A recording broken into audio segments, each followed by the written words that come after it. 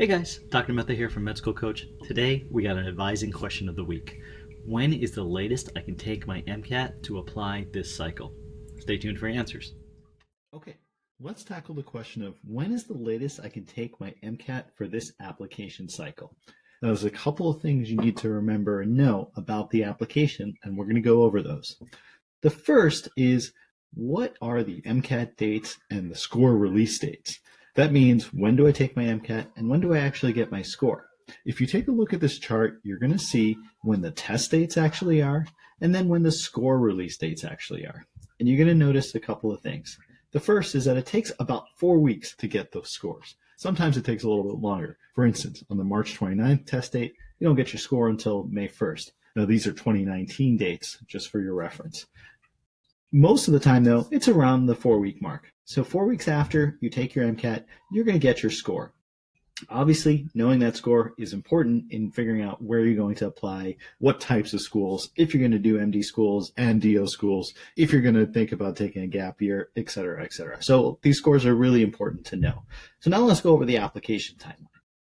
Well, early May is when AMCAS opens. That means you can start filling it out. You can start basically putting in your information. You can start writing your personal statement, but you can't actually submit it until late May, early June.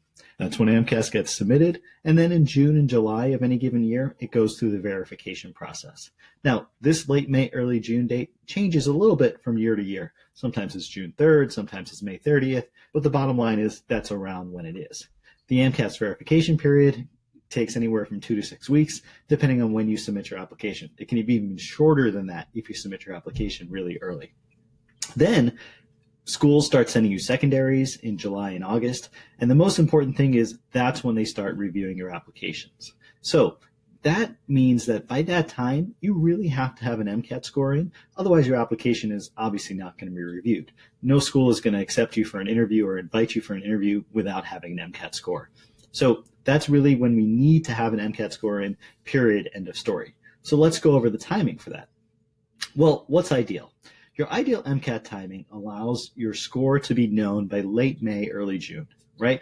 That means that you can choose your entire school list. You can figure out if you're also going to apply to osteopathic schools, even figure out if you're going to apply at all for the given year. If you can have your MCAT score in your hand by late May, early June, that's ideal. Now, you can still submit an application without an MCAT score. So you can actually submit your application without your MCAT score, but you're not really going to know exactly what your school list mix is going to be at that point. Now, you can use sort of the proxy of your practice scores to hopefully know that, but you're not going to have the definitive answer. And so you can take an MCAT and get your score back as late as June or July and basically have your application even submitted before then. But this means that you have to make a school list and you may have to make school list modifications or even withdraw your application if your MCAT score isn't where you want it to be. So this is slightly suboptimal timing, right? Getting your MCAT to come out sometime between June and July, suboptimal timing, or late June, early July, suboptimal timing. If you get your MCAT score to come out any later than this, July, August, you're really pushing the envelope in terms of when you are going to be complete at a certain school.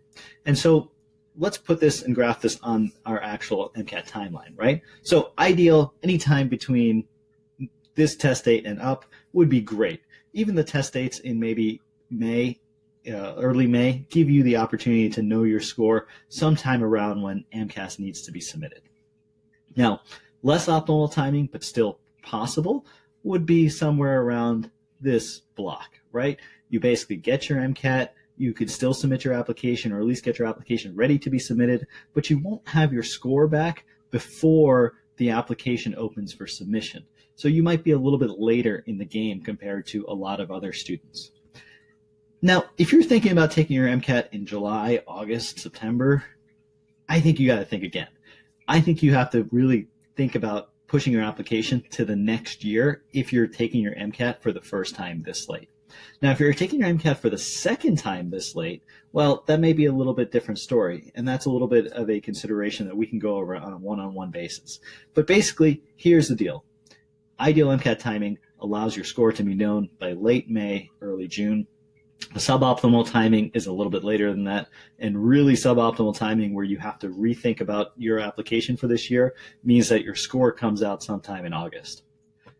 Now, every situation is unique. So if you need more information, need more help, check us out at medschoolcoach.com and check out prospectivedoctor.com where you can find all kinds of articles on this and more about your application. Good luck.